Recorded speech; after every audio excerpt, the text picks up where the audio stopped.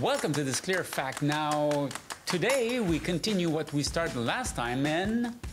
And last time you were telling us that um, when you do IPR, you always remove a little less than what you're seeing on the ClinCheck. So I'm really excited for your information about that. You want to know why? You're going to know today. My name is Stephane Reinhardt, Director of Education for the Clear Institute. And my name is Michaela Sehnert. I'm a general dentist in Germany. And we start right after this.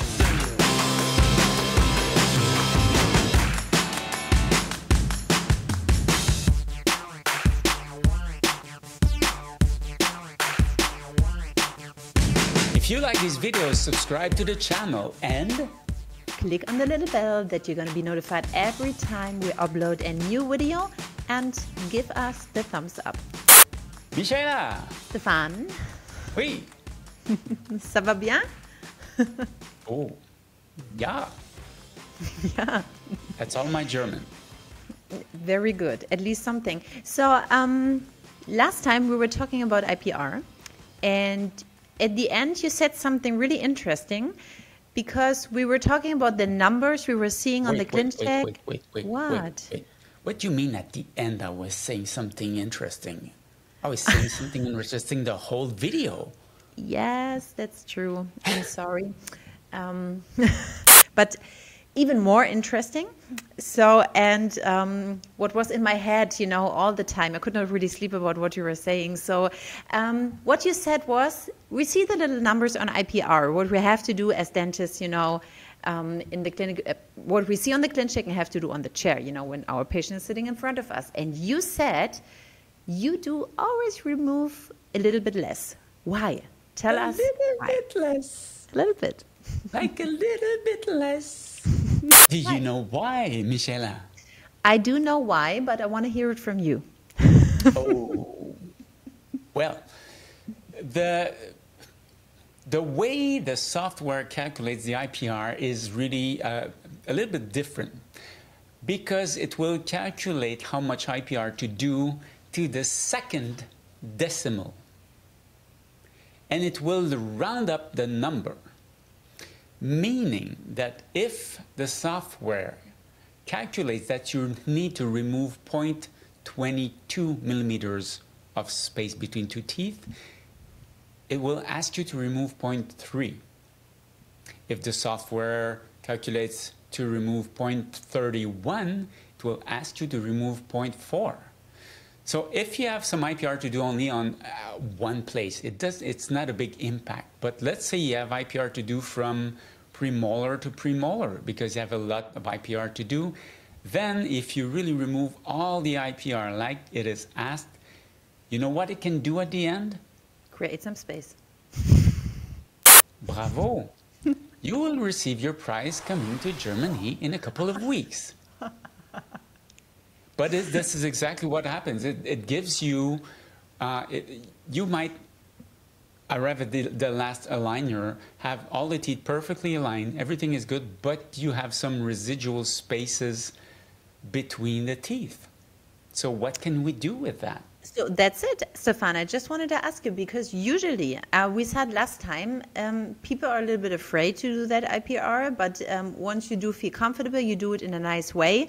Suddenly, maybe you realize at the end of your treatment, oh my God, my contact points are maybe not, you know, as strong um, as I wish them to be because we know there are different contact points. So, what are you doing? Let's say you had IPR from um, premolar to premolar, premolar on the lower or upper arch, doesn't matter, and then you notice, well, your contact points need to be a little bit stronger. So, what's your solution on that? Well, the first solution is to remove a little bit less of what's asked from the IPR. That's the first thing. Uh, and you know, and some people say, yeah, but how? You know, if I remove less, maybe. Uh, think of how. I mean, how how many aligners do you give your patients every time?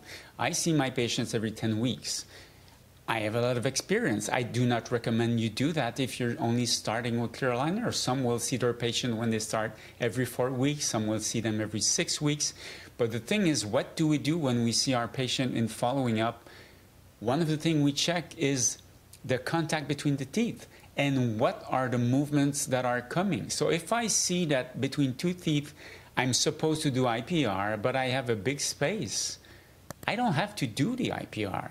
If I see that I'm not supposed to do IPR and I have a really big contact and I have some rotation to do there, or well, maybe I need to remove a little bit more of this. So again, the software is there to help, uh, but but it's not really there to take decisions. Uh, you are the doctor. You like those two little letters in front of your name. Well, you have to be the doctor because otherwise, if the software tells us to do everything and we just follow it, we're technicians. We're not dentists anymore. What do you um, think about that, Michaela?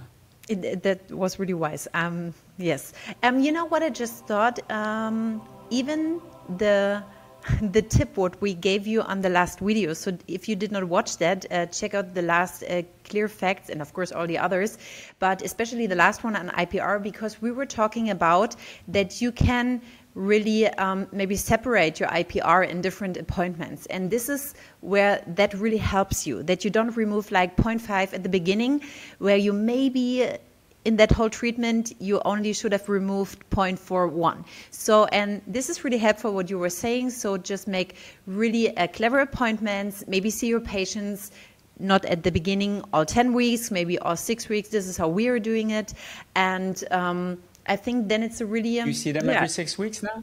Usually every six weeks. Yeah. It, a little bit depends on um, what the Invisalign coordinator has for a feeling. You know how the patient, maybe like uh, children, yeah. sometimes we see a little bit often, more often. Other adults, they live far away. They get all their aligners, and we just have another way of communication or checking their appointments. Yeah. So a little bit depends, of course. It's uh, um, every time individual. So um, mm-hmm. okay, but is there something else we have to maybe know?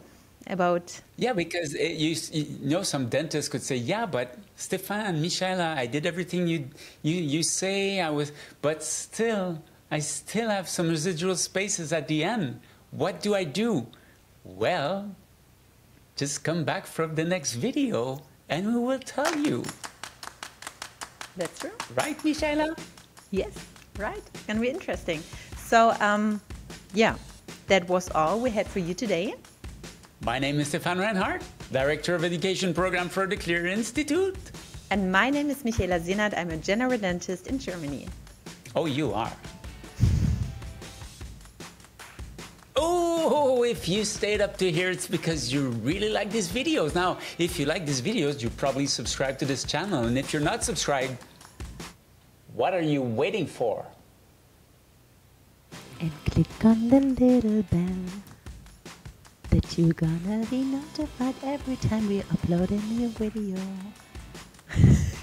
and, and, and give us the thumbs up. Don't that forget you give us the thumbs up every time you give us the thumbs up.